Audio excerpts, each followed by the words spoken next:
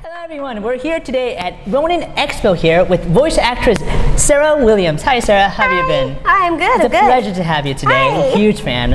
And uh, but before we before we start, I would like to congratulate you on the soon-to-be released anime series ReZero. I know that's going to be released soon. Uh, do you know the day? Uh, I don't know about the day. I know that um, part of the first part of the uh, English dub has been released on Crunchyroll. Right, I think yeah. up to episode 19, I believe. Was is it 19? I haven't catched up. I know it's. I some think it's like at least the first half. Okay, okay, that's good to know. okay, well, let's get started, shall we? Mm-hmm. All right, so tell us a bit about yourself and how you began your career. Uh, I mean, because I've always been a big fan of anime, and I'd always sort of been like, I would like to do voices for that, but I also realized that there's other aspects of voiceover that can be explored as well, and I got really interested in all of that. So just, um, I did take my first acting class till I was a high school senior. I went to college, got a BA in theater, and then I moved out here after I saved up some money and just basically was taking classes, meeting people, getting to know everything in this business, and you sort of it's sort of a patience game. You you get people to know you, and then it's like maybe we'll let you try this and try this. Networking, right? And then you have to land. Then you have to keep landing roles, and it's sort of just gone from there.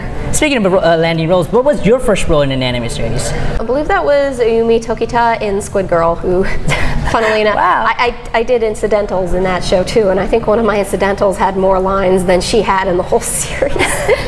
Because she's very quiet. Of all the characters you've done, who is your favorite? That's like that's like choosing a favorite child. You, you can't. I mean, and it keeps changing because sometimes it's like new stuff. I'm like, oh yay. I mean, Peacock is always a big favorite. Uh, Jinx is always a big favorite. Nonon is a favorite. Metallia from Witch and the Hundred Knight. It, there's a long list.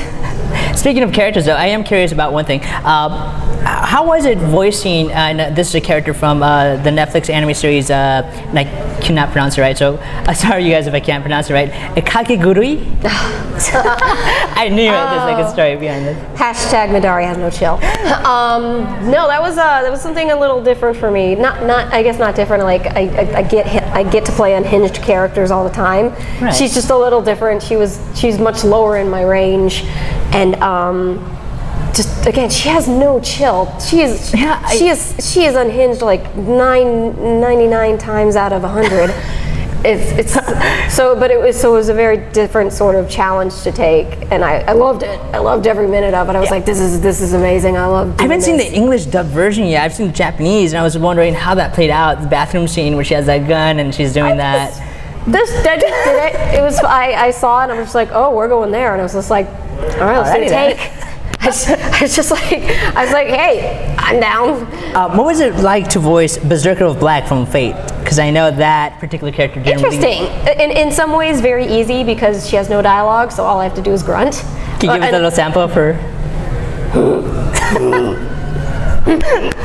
It's just, I just, there's so much, there's so much to express and just non-verbally. It's, it's, it was both easy in that way because it was just like I can pull those out of my butt and just like grunt, grunt, grunt. On the other hand, very vocally stressful because she does a lot of screaming and a lot of, it, and it's that thing. It's like I need to get these right because this is how she communicates. So you can't, you can't half-ass the screams. They gotta, they gotta be there. She's, she's a wonderful cupcake of a, of a person who deserved good things in her life. Ah, I didn't. I did not like how she got her that demise at the end. I was like, story wise too, I was just like, this feels like a waste. She's got there's stories you could be telling with her. You're just Yeah. gonna leave it? Oh, I- I'm like, alrighty then. Let's focus on uh, Astolfo. Apparently, everyone loves Astolfo, Stoffels good is best. Which is- is, is the best character too. which is voiced by none other than uh, Mata Fey, I believe. Right? Yeah. Yes. Or Fema. Fema, right. Sorry, I get my names the other way around. um, are there any current projects that you can, that you can talk about that you're working on? That's that's always a hard question because it's like "Eh, NDA. it's like NDA, NDA, NDA, NDA. Um, we did just release the trailer. Uh, we, um, the the people I've been working for, um, Dr. Bear Productions. Uh, we released the trailer for Diesel Dust, which is this uh, CGI uh, uh, cartoon I, I get to collaborate with them on, and it's great. I'm really excited to see it coming together. Uh, it's going to be, I think it's going to be on uh, Bennett the Sage's uh, YouTube channel, I believe. Okay, so it's not If I get this wrong, Mark, if I get this wrong, I'm sorry, I'm sorry. So it's not gonna be like a TV thing or Netflix. It's gonna be like on a YouTube Uh, channel. it's it'll be on YouTube. Much like the Final Fantasy VII uh, Machina yeah, yeah. thing. And um, I was like stuff I can't talk about yet. What about uh, Planet Freedom? Too. Freedom Planet 2. Um, Freedom Planet 2. Thank you. Yeah, I'm very. I was really happy to be involved with that. I got. I went all the way down to Texas to record for it, and it was No really, really good experience. Oh, I wow. love working. I love working with everyone. Oh wow. Okay, I didn't. I, I thought it was based off here, the studio, the recording studio, and everything. Um, I don't know about the studio itself. I know the recording, the recording side of it. It was. Um, In well, I could have. I could have done it remotely, but I have friends in Texas too, so Okay, it's nice. Funimation, It was sort of. Um, it was sort of a nice excuse to be like, I'll go visit my friends who I hardly ever get to see because they all live in Texas. So, for any future voice actors watching this right now, do you have any tips or tricks uh, uh, that you might want to uh, tell them about, or Um, I'd say it's acting. Get classes, whatever class. There's always there's always a local class you can take, no matter where you are. There's always. I know here in Los Angeles is especially abundance. here in Yeah, LA. definitely. But I mean, there's so most most cities, most places have local theaters and stuff, and that's at least a place to start. I mean, you're you're probably in the end going to have to move to where you want to work, so it's like. And, and there are choices. It's like LA is a very good place for just about everything. It's got commercials, it's got the video games, it's got the animation, it's got anime. Um, so LA is a good place if you if you kind of want to do everything. Like especially especially if you want to do video games and animation as opposed to just anime. Right. Like the animation and the video game scene here is pretty pretty big. Um, New York has a little bit of anime, a little bit of animation. They're much bigger in terms of promos, commercials. I think audiobooks are pretty good out there.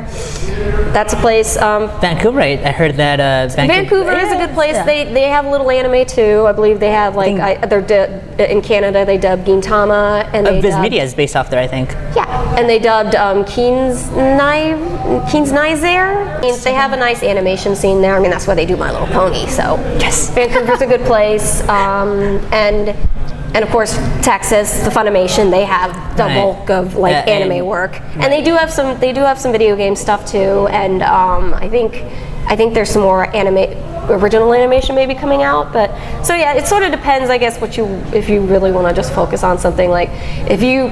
I mean, I don't recommend it because I feel like you should.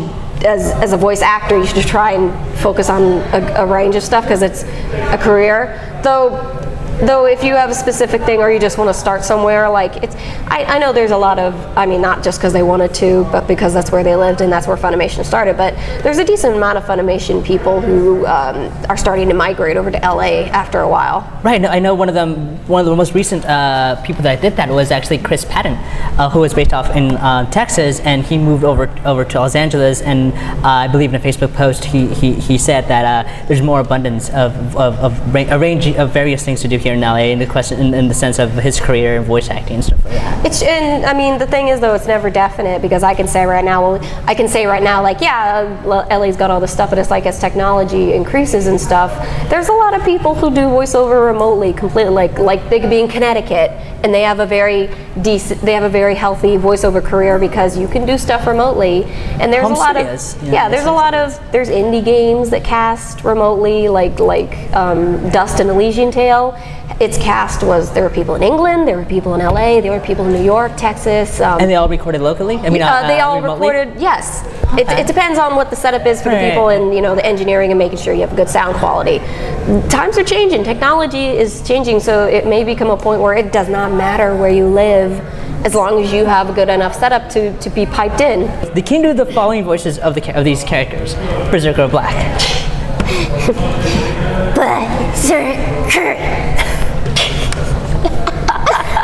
Jinx, It's Like the only thing she gets to say. A Jinx from League of Legends, Hold on, I'm a bit. I'm about to see something really cool.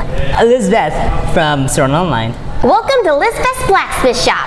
You There know, it you'll be surprised how hard that is to say, and to the point that I had to say it so many times that it's like I can't not say it right now.